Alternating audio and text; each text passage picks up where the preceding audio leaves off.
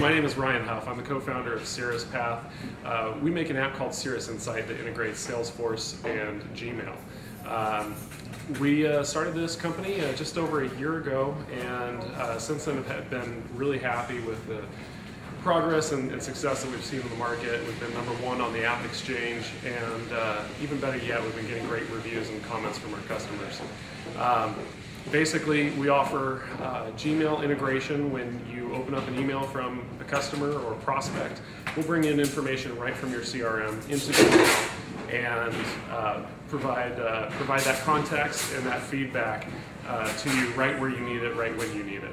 So uh, we've been on the market since December, have uh, a lot of customers out there that have been really happy with it, and uh, we recently closed a seed round. So at this point, we're uh, looking at a uh, Series A in the next three to six months, and uh, looking to uh, make a big splash at Dreamforce next week in San Francisco at the Moscone Center.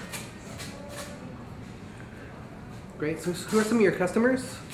Uh, you know, a lot of our customers are uh, small and medium-sized businesses that are really taking advantage of the latest tools that are out there taking advantage of cloud technology for Salesforce, for Gmail and, and their communications platform overall. Um, but you know, there are a lot of enterprises that are moving up the ranks on, on that side and are taking advantage of Google Apps uh, enterprise-wide.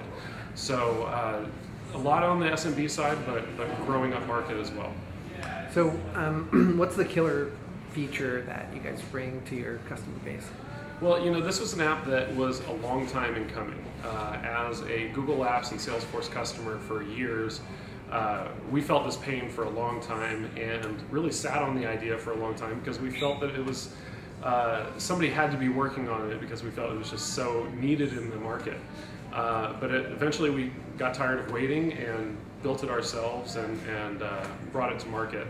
Uh, the number one thing that I think we gain from it as users ourselves is just the ability to, to see that context about customers and know who that customer is and know who else is talking to that customer.